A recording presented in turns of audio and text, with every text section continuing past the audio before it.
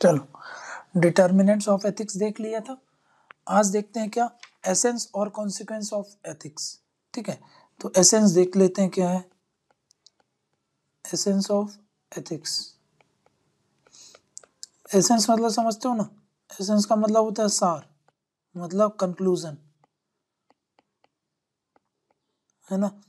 मतलब सब कुछ एथिक्स का अगर कंक्लूड करके हम बात करें कि एथिक्स क्या है और किससे रिलेटेड है, किस चीज़ से डील करता है तो वही चीज़ हमको समझना ठीक है ना? तो कुछ एसेंस है। एसेंस के बाद हम देखेंगे कि अगर ये होगा तो उसका कॉन्सिक्वेंस क्या होगा? एथिक्स होने के कारण सोसाइटी में क्या होता है और एथिक्स ना होगा तो सोसाइटी में क्या होगा? वो कॉन्सिक्वेंस में देखेंगे। ठीक है, पहले हम समझ रहे हैं एथिक्स है, उसका कॉन्सिक्वेंस मतलब एसेंस क्या है वो समझना है हम ठीक है? तो सबसे पहला एथिक्स जो है ना एथिक्स जो है, जो एक, हम बात करते हैं कि भाई जस्टिस का कंसेप्ट होता है, जो सेंस ऑफ़ जस्टिस होता है है ना? उससे डील करता है एथिक्स मतलब जो ये आइडिया ऑफ़ जस्टिस होता है, वो सेंट्रल होता है आइडिया ऑफ़ एथिक्स के, है ना? ये है जस्टिस ये है एथिक्स मतलब एथिक्स के सेंटर पे क्या चीज़ रख करके एथिक्स को बनाया जाता है? जस्टिस को, है ना? ताकि समाज में न्याय की स्थापना हो पाए। और ये जस्टिस कैसा हो सकता है? ये जस्टिस हो सकता है, आपका सोशल जस्टिस हो सकता है। सामाजिक न्याय एथिक्स के कारण सामाजिक न्याय आए। एथिक्स के कारण आपका पर्यावरण का एनवायरमेंटल जस्टिस आए। ठीक, इसके साथ साथ क्लाइमेट जस्टिस आए। सारी जस्टिस जितने भी टर्म आप जानते हो क्लाइमेट जस्टिस हो गया, ह्यूमन राइट्स के बारे में बात हो, ह्यूमन राइट्स जस्टिस हो, उनके, उससे रिलेटेड जस्टिस हो, है ना? तो मतलब क्या बोल रहा हूँ कि the sense of justice is central to the idea of ethics, पहला एसेंस समझ में आया गया? The sense of justice is central to the idea of ethics.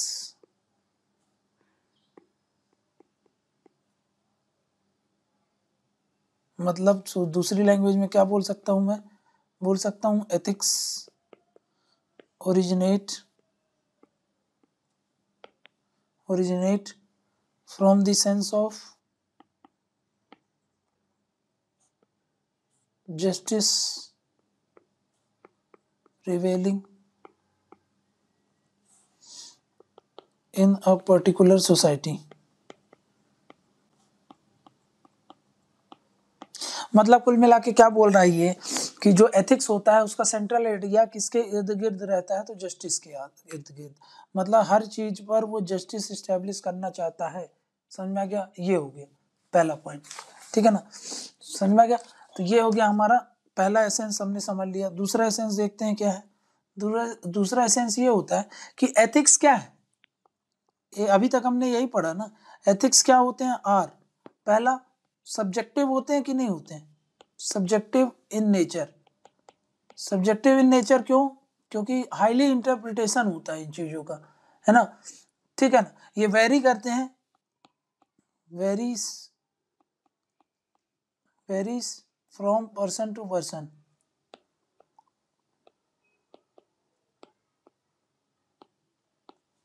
ठीक, ये वेरी करते हैं पर्सन टू पर्सन प्लस ये माइंड डिपेंडेंट होते हैं, है ना? हर व्यक्ति का अलग अलग मत होता है तो ये माइंड डिपेंडेंट है, ठीक है ना? जैसे कि मैंने आपको बताया था ना कि जैसे एग्जांपल देखो, वेदांत फिलॉसफी है, वेदांत फिलॉसफी उसमें द्वैतवाद हो गया, अद्वैतवाद हो गया, विशिष्ट अद्वैतवाद हो गया, है ना? तो भाई अलग अलग इंटरप्रिटेशन है कि नहीं? इसीलिए एथिक्स क्या होते हैं? Ethics are subjective in nature ठीक है ना? दूसरा एथिक्स क्या है? एथिक्स एब्स्ट्रैक्ट है, होता है। एब्स्ट्रैक्ट होने का मतलब क्या है? एब्स्ट्रैक्ट होने का मतलब होता है, वो चीज़ जो दिमाग में एग्जिस्ट होती है रियल में नहीं होती, है ना? जिसको हम अपने सेंस से उनको परसीव नहीं कर सकते, है ना? मतलब एब्स्ट्रैक्ट मतलब something which exist in ideas something which exist in ideas, है ना?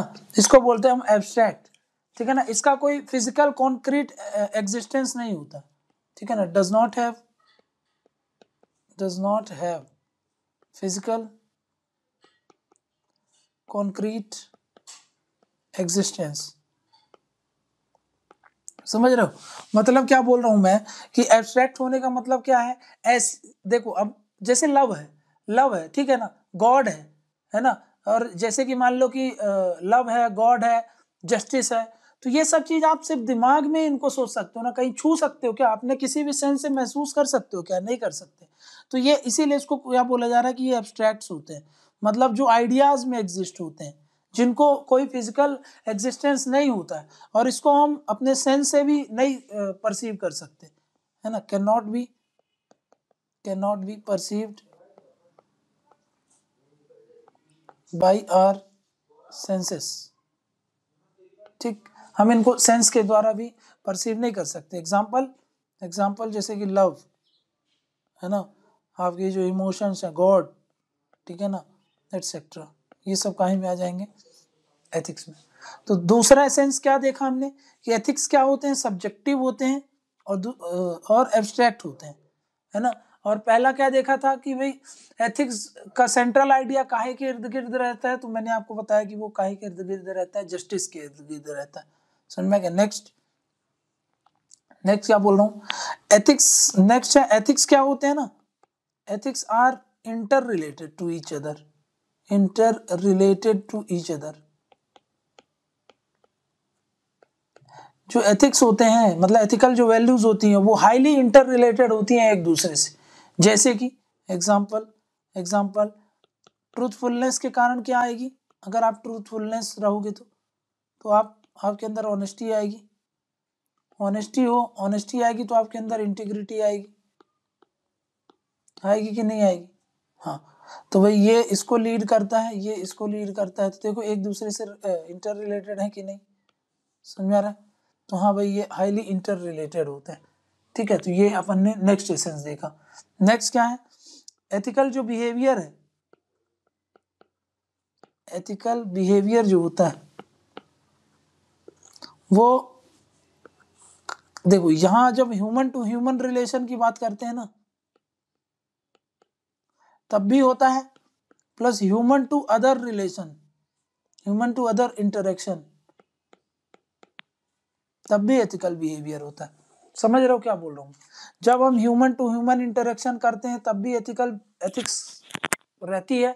जब हम ethic human plus other interaction करते हैं, तब भी एथिक्स को इम्पोर्टेंस दिया जाता है। जैसे कि एग्जांपल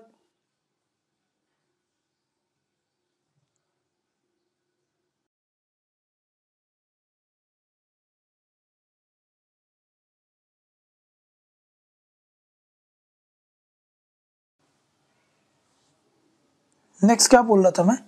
कि भाई ये जो एथिक्स है है ना, ये जो एथिकल बिहेवियर है, ये जो एथिकल बिहेवियर है,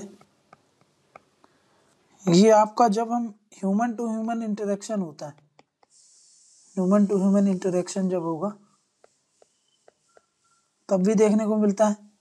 ये जो एथिकल बिहेवियर है हमारा ह्यूमन टू अदर इंटरेक्शन है ना अदर इंटरेक्शन अदर इंटरेक्शन तब भी एथिकल बिहेवियर देखने को मिलता है। एग्ज़ाम्पल जैसे कि, मान लो कि भाई एनवायरमेंटल एथिक्स की जब बात करते हैं एनवायरमेंटल एथिक्स तो ह्यूमन का एनवायरमेंट के साथ कैसा रिलेशन होना चाहिए? जैसे कि ओवर एक्सप्लाइटेशन ना हो, है ना जो सस्टेनेबल डेवलपमेंट हो सस्टेनेबल यूज़ हो रिसोर्सेज का, है ना एनिमल किलिंग ना हो, है ना, भाई इस चीज़ की बात करते हैं कि नहीं तो यहाँ पे आप क्यूलिंग का एग्जांपल बता दोगे, यहाँ पर पॉल्यूशन का बता दोगे, यहाँ पर क्लाइमेट जस्टिस की बात कर दोगे, है ना? तो ये सारी बात करते हैं कि नहीं करते हम? तो ये सारी चीज़ें आपकी इसमें आ जाएँगी, ठीक है? एनवायरमेंटल जस्टिस नेक्स्ट है बायोलॉ बायोलॉजिकल एथिक्स तो जिसमें हम, जैसे कि भाई जीन एडिटिंग की बात करते हैं जब तो उसमें भी हम एथिक्स की बात करते हैं करते हैं कि नहीं करते हैं? असिस्टेड रिप्रोडक्टिव टेक्नोलॉजी का जब हम यूज़ करते हैं आईवीएफ वगैरह तो उसमें भी हम बात करते हैं। इवन जब हम मशीन्स के साथ इंटरेक्ट करते हैं तो उनमें भी एथिक्स की बात करते हैं। जैसे कि एआई के ऊपर रोबोटिक्स के ऊपर अलग अलग नियम कानून बनाते हैं, याद करो, बताया था। आर्टिफिशियल इंटेलिजेंस के ऊपर फिर डिबेट उठ जाता है कि ऐसा होना चाहिए कि नहीं होना चाहिए। तो उसमें भी हम सब रूल्स एंड रेगुलेशन के हिसाब से काम करते हैं। तो ये सब क्या है? ये एनवायरमेंटल ये जो एथिकल बिहेवियर को बताता है। चाहे हम ह्यूमन टू ह्यूमन इंटरेक्शन करें या ह्यूमन के साथ अदर इंटरेक्शन करें एथिक्स को वहाँ पर भी हम ध्यान में रखते हैं। समझ में तो ये याद रख लेना कि भाई ये एथिक्स में क्या बोल रहा हूँ मैं आपको? Human to human interaction human to other interaction उसमें भी एथिक्स का ध्यान रखना। ठीक है ना? नेक्स्ट ती, तीन एसेंस देख लिया हम लोगों ने। ठीक है ना? क्या क्या कि भाई एथिक्स किसके सेंटर होता है? जस्टिस के सेंटर अराउंड होता है। नेक्स्ट क्या बताया? एथिक्स एब्स्ट्रैक्ट होते हैं सब्जेक्टिव होते हैं। नेक्स्ट बताया एथिक्स इंटर रिलेटेड होते हैं। और अब बताया ह्यूमन बिहेवियर जो होता है मतलब जो भी एथिकल बिहेवियर होता है, वो ह्यूमन टू इंटर ह्यूमन में ही नहीं ह्यूमन टू ह्यूमन के साथ साथ ह्यूमन टू अदर इंटरेक्शन में भी होता है। ये नेक्स्ट एसेंस हो गया आपका। ठीक है? ये नेक्स्ट एसेंस हो गया। अब देखते हैं नेक्स्ट इसके बाद क्या है? जो एथिकल स्टैंडर्ड होते हैं, जो एथिक्स है ना एथिक्स है। ठीक है ना? इसको जब हम मेंटेन करते हैं मेंटेन एंड सस्टेन्ड ये मेंटेन और सस्टेन क्यों होते हैं एथिक्स क्यों, इनको मेंटेन और सस्टेन कैसे रखा जाता है? और क्यों रहते हैं ये? तो बाई सेंस ऑफ़ रेस्पॉन्सिबिलिटी के आधार पर, है ना? जब समाज में रिस्पॉन्सिबिलिटी अपनी उठाते हैं और अकाउंटेबिलिटी फिक्स होती है तो उस हिसाब से फिर आपका ये जो एथिक्स होती है वो मेंटेन रहती है और सस्टेन रहती है। समझ में आ गया ना? तो ethics are maintain and sustain by sense of responsibility and accountability समझ में आ गया ना? तो ये ये हम करते हैं। और ये एथिक्स कहाँ से होता है? इंटरनल होता है एक्सटर्नल होता है। तो वही चीज़ बात आ गई कि भाई एक्सटर्नल फैक्टर से ही ये एथिक्स को मेंटेन और सस्टेन किया जाता है। ठीक है ना? तो ये बात याद रख लेना। क्या बोल रहा हूँ? एथिक्स को मेंटेन और सस्टेन करने के लिए क्या चाहिए आपको? रिस्पॉन्सिबिलिटी और अकाउंटेबिलिटी ये फिक्स की जाती है। फिक्स्ड इन दी सोसाइटी ठीक है ना? किसके प्रति? इंडिविजुअल्स के प्रति।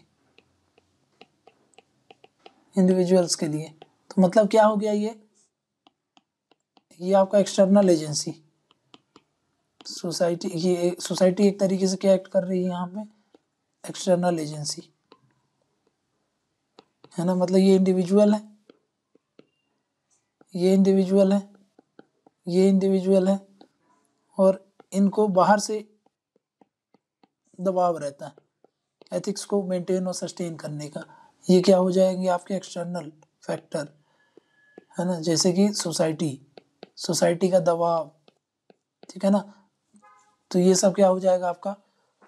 ये सब हो गया आपका नेक्स्ट एसेंस ठीक? नेक्स्ट क्या बोल रहा हूँ आपको? नेक्स्ट देखो कि ये जो एथिक्स होते हैं ना एथिक्स जो होता है या फिर एथिकल स्टैंडर्ड बोल लो आप। एथिकल स्टैंडर्ड्स ये ये आपका लॉ एंड लॉ जो होता है कोड ऑफ़ कंडक्ट होता है, इनसे ब्रॉडर होता है। है ना? ये ब्रॉडर होते हैं। ब्रॉडर देन लॉ बोल लो आप, है ना? रूल्स बोल लो आप आप कोड ऑफ़ कंडक्ट बोल लो, है ना? इनसे हमेशा ब्रॉडर होता है। मतलब एथिक्स ने जन्म दिया है इन चीज़ों को। इन चीज़ों से एथिक्स नहीं चलता है है ना? इनने इनको जन्म दिया है। तो एथिक्स हमेशा प्रिसीड करता है। ठीक है ना? हाँ एथिक्स हमेशा प्रिसीड करेगा इनको।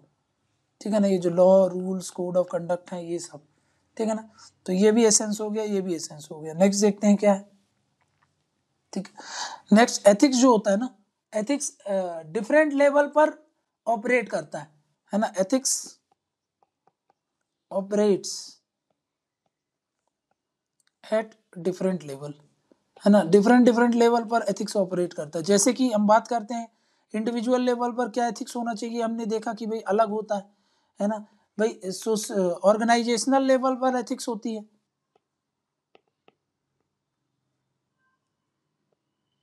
है ना? ऑर्गेनाइजेशनल लेवल पर भी एथिक्स होती है। सोशल सोशल लेवल पर या फिर सोशल कल्चरल लेवल पर एथिक्स की बात कर लो आप। या फिर आप पॉलिटिकल लेवल पर एथिक्स की बात कर लो आप। या फिर आप इंटरनेशनल एथिक्स की बात कर लो। है ना? इंटरनेशनल एथिक्स की बात कर लो। तो मतलब हर लेवल पर एथिक्स क्या होता है? डिफरेंट डिफरेंट टाइप से एक्ट करता है। है ना? Ethics act acts acts differently at different level समझ में गया? भाई इंटरनेशनल एथिक्स अलग होता है। है ना? जहाँ पर आपको पीस को सम्मान दिया जाता है एक दूसरे की टेरिटरी की रिस्पेक्ट की जाती है, वो इंडिविजुअल लेवल के लिए वो अलग है। इंडिविजुअल लेवल में ऑनेस्टी आनी चाहिए ट्रूथफुलनेस होना चाहिए।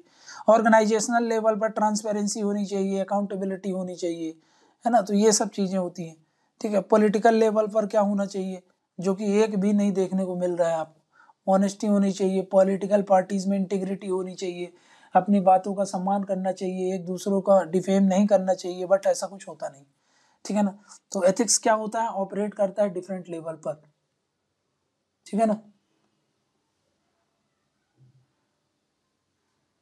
ठीक है नेक्स्ट क्या बोल रहा हूँ आपको? नेक्स्ट एसेंस क्या है? जो एथिक्स होता है, वो डिपेंड करता है। डिपेंड अपॉन द कंटेक्स्ट है ना? ये कंटेक्स्ट कंटेक्चुअल होता है, ये मैंने आपको बताया था।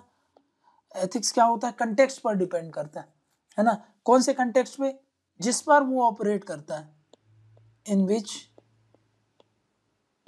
it is operating मतलब क्या है, समझ में आ गया इसका? कि भाई एथिक्स को हम कंटेक्स्ट के हिसाब से देखते हैं।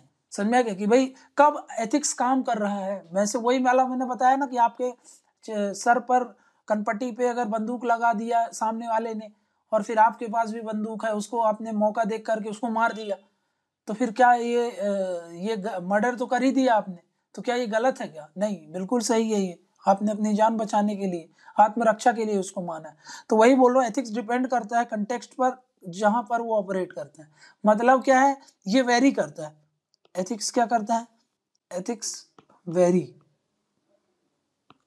है ना? ये वेरी करता है अपनी मीनिंग को लेकर के, अपनी इंटेंसिटी को लेकर के।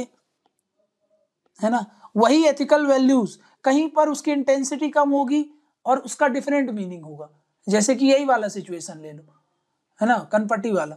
तो अभी उसका मीनिंग देखो अलग हो गया।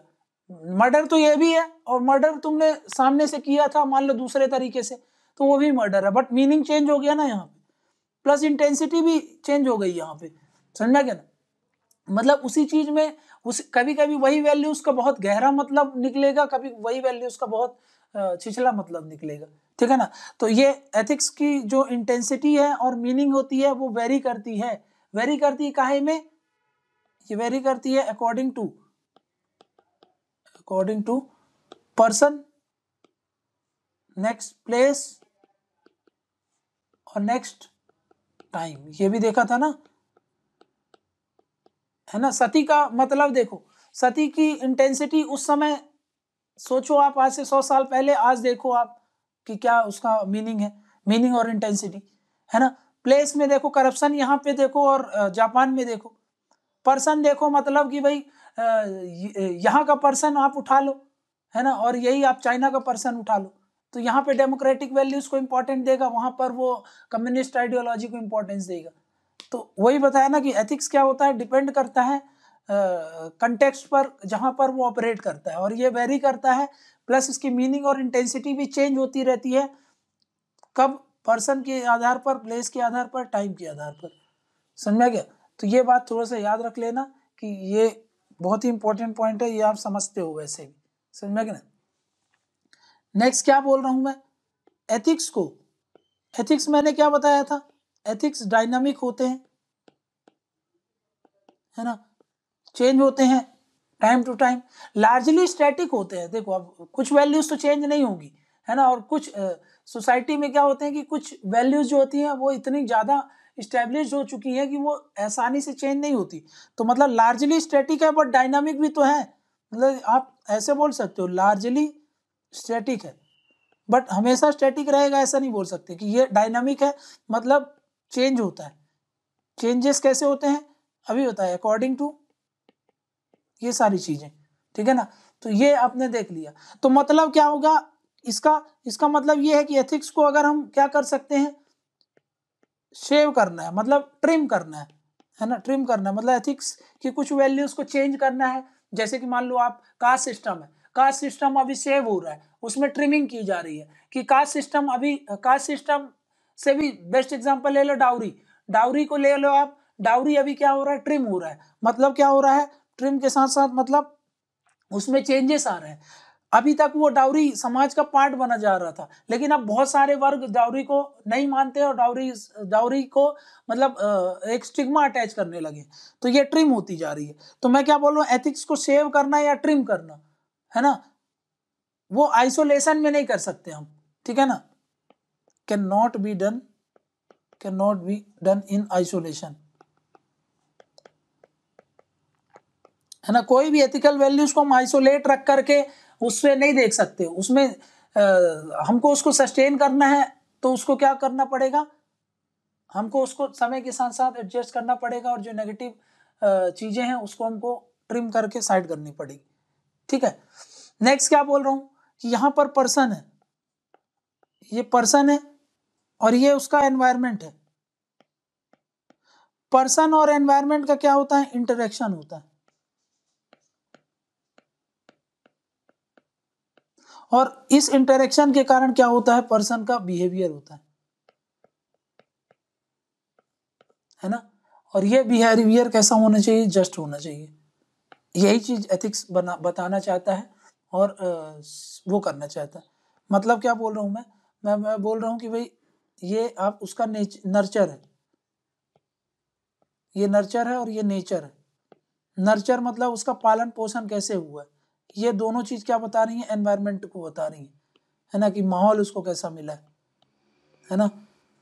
मतलब यहाँ पे नर्चर मतलब किसका पालन पोषण हुआ है? मतलब उसके अंदर क्या वैल्यूज़ इनकलकेट हुई जिसको हम क्या बोल देते हैं? सोशलाइजेशन ये नेक्स्ट चैप्टर है आपका इसको पढ़ना है आप। सोशलाइजेशन नेक्स्ट क्या है? नेचर नेचर मतलब कि भाई आ, किस हिसाब से वो पढ़ा है? किस क्लाइमेट में वो रहा है? है ना? जैसे कि बोलते हैं ना कि भाई यहाँ पे नर्चर में भी एक चीज़ आप समझ सकते हो कि भाई, जैसे छत्री लोग होते थे तो वो इतने मतलब एंगरनेस क्यों होती थी, है ना? जो ब्राह्मण होते थे उनके अंदर इतना विजडम क्यों होता था? ठीक है ना? तो ये सब चीज़ें सोशलाइजेशन और इसमें आ जाएगी। वहीं पर नेचर मतलब कि जैसे कि, जैसे बोलते हैं ना कि भाई, नेचर, जिस नेचर, जिस माहौल में रहते हैं हम, है ना? कि भाई आर्टिक रीजन में रहोगे या फिर ट्रॉपिकल रीजन में रहोगे तो ट्रॉपिकल रीजन में रहोगे मतलब वहाँ का जो क्लाइमेट होगा तो उस हिसाब से वहाँ का रहन सहन तैयार होगा कि नहीं होगा? जैसे हम पढ़ते हैं, आपको पता होना चाहिए एनवायरमेंटलिज्म का मतलब क्या होता है कि भाई एनवायरमेंट डिटरमाइन करेगा। जैसे कि राजस्थान के लोग पगड़ी क्यों पहनते हैं भाई? सीधी बात, है ना? क्योंकि वहाँ का माहौल, वहाँ का जो गर्मी का वो है, अपने आप को बचाने के लिए बॉडी से जो वाटर लॉस होने के लिए पगड़ी पहनते हैं। तो भाई नेचर डिटरमाइन कर रही है कि नहीं आप कि किस तरह रहोगे? है ना? आप क्या खाओगे? कोस्टल एरियाज़ के लोग मछली क्यों खाते हैं?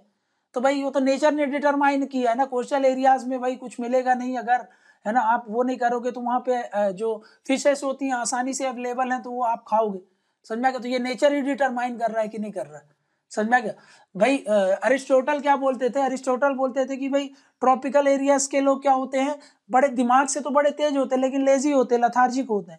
है ना? वहीं पर जो ये मेडिटेरेनियन वाले रीजन के जो लोग हैं, ये इतने हार्ड वर्किंग होते हैं। समझ में यूरोपियंस हार्ड वर्किंग होती है विजडम भी होता है, इसलिए उन्होंने रूल किया था वर्ल्ड पर। तो ऐसी ऐसी बहुत सारी थ्योरी होती है। मतलब कुल मिला के मैं ये बोल रहा हूँ आपको एनवायरमेंट डिटरमाइन करता है कि आप कैसे रहोगे। है ना? मंगोलियंस जो होते हैं, वो ठंड के एरिया में रह लेते हैं, ठीक है ना? और जो आप होते हो मतलब नॉर्मल जो नॉर्डिक्स होते हैं नॉर्डिक छोड़ो। ये जो आपके कॉकेशियंस होते हैं, ये आपके उतने ठंडे एरिया में नहीं रहे हैं शुरू से तो फिर जो डेजर्ट वाले एरिया में रह रहे हैं, उनको देखो आप। उनका सबका रहन पहन सहन अलग रहेगा ना, खाने का तरीका अलग रहेगा। बिहेवियर अलग। क्यों? क्योंकि भाई एनवायरनमेंट डिटरमाइन करता है कि आप कैसे होते हो। ठीक है ना? तो ये यहाँ पे एनवायरनमेंट आ गया। एनवायरमेंटल कंडीशन है ना? जैसे आप, भाई आप चावल कब खाओगे? चावल आप, यहाँ पे ट्रॉपिकल कंट्रीज़ चावल खाती हैं, है ना? अब आप जा करके आर्कटिक में बोलोगे चावल खाए तो नहीं खा सकता, क्योंकि एनवायरमेंट ने उनको वो सुविधा नहीं दी है। ठीक? तो वही मैं बोल रहा हूँ आप। क्या?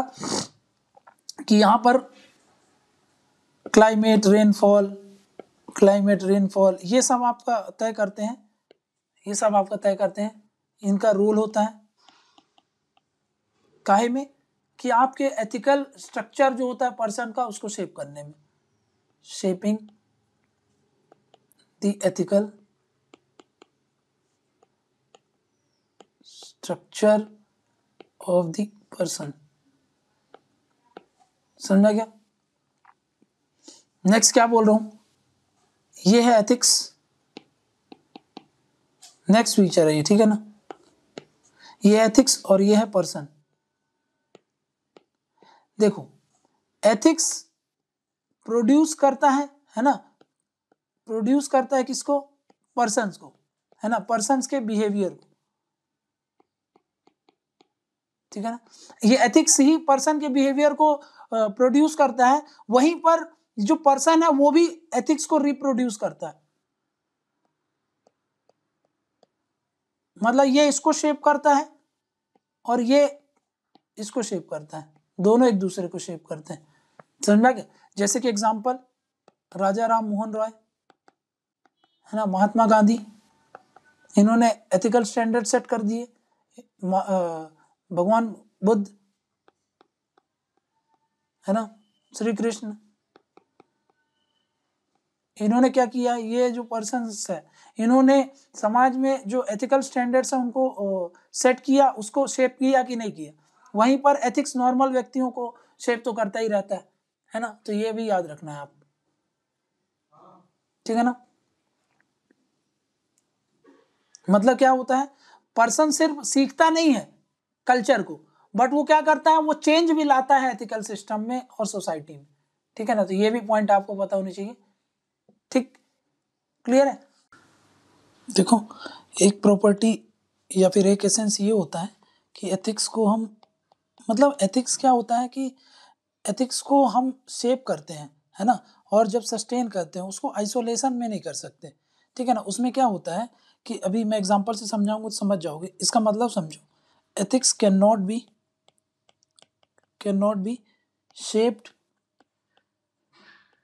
और कैन नॉट बी सस्टेन है ना? Can not be shaped and can not be sustain in isolation है ना? आइसोलेशन में वो शेप नहीं लेता है और आइसोलेशन में सस्टेन नहीं होता।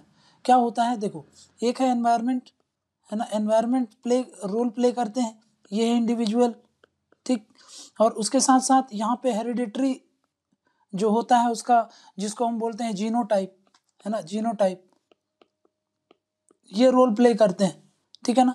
और एनवायरनमेंट कैसे रोल प्ले करता है? जैसे कि यहाँ पे एनवायरनमेंट मतलब जो भी माहौल होता है, शुरू से हम फैमिली में पले बड़े रहते हैं तो इसको इस प्रोसेस में जो काम करता है, उसको बोलते हैं सोशलाइजेशन ठीक है ना?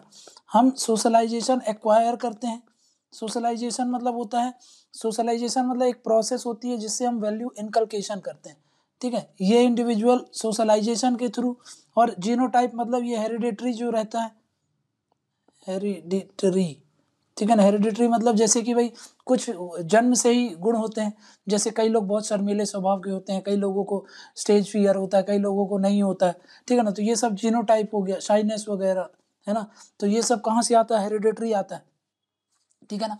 तो ये आपके क्या करते हैं? ये आपका इंटरेक्ट करते हैं। ये सबका, इन सब का इंटरेक्शन होता है। है ना? मतलब सोशलाइजेशन इस तरफ़ से इसका इंटरेक्शन हेरिडिटरी का इंटरेक्शन और फिर उसके हिसाब से ये व्यक्ति का बिहेवियर आता है है ना? तो याद करो वो वाला टॉपिक जो मैंने आपको बताया था बिहेवियर क्या होता है? Behaviour equals to environment into heredity ये बताया तो मैंने आपको बिहेवियर यही होता है।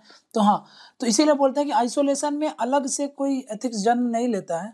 ये क्या होता है? समय के साथ साथ नेचर नर्चर रोल प्ले करते हैं और शेप करते हैं ethical structure of the person socialization क्या है? तो मैंने आपको समझा दिया। सोशलाइजेशन मतलब एक लाइफ लॉन्ग प्रोसेस होती है जिसमें से कोई भी व्यक्ति नॉर्म्स कल्चर वैल्यू आइडियोलॉजीज है ना, जो सोसाइटी की होती हैं, वो उस उस मतलब नेक्स्ट जनरेशन या में या फिर उस इंडिविजुअल में एक्वायर होती हैं ताकि वो क्या हो? वो व्यक्ति एक पार्टिसिपेटिंग मेंबर बन सके, एक रिस्पॉन्सिबल मेंबर बन सके, काहे का? सोसाइटी का। मतलब सोशलाइजेशन एक मीन्स है जिसके द्वारा हम सोशल कल्चरल कंटिन्यूटी को अटेन करते हैं, ये भी आप बोल सकते हो। तो वहीं पर अगेन बता दिया मैं आपको सोसाइटी क्या होती है? ग्रुप ऑफ़ पीपल होता है कल्चर क्या होता है? Sum total of values norms tradition tradition custom of this society इसी को ही हम क्या बोल देते हैं ये। और यहाँ से हमने समझा कि एथिक्स का, इस स्टेटमेंट का क्या मतलब है ना? कि आइसोलेशन में एथिक्स को नहीं किया जा सकता। कैसे करते हैं हम? वो एक ये एक लॉन्ग प्रोसेस उस पर काम करती है और उसको शेप करती है और उस, उसके द्वारा फिर जो एथिक्स होते हैं वो सस्टेन करते हैं। तो ये सब कुछ एसेंस हमने निकाला एथिक्स का अभी तक जो भी पढ़ा, उससे एथिक्स का एसेंस निकाला कि भाई यहाँ एथिक्स क्या है, कैसा है और जो जो भी पढ़ा हम लोगों ने एथिक्स का, उसका एक सार हमने समझा कि भाई अभी तक जो भी समझा था उसका क्या एसेंस बनता है एथिक्स का तो ये हमने देख लिया।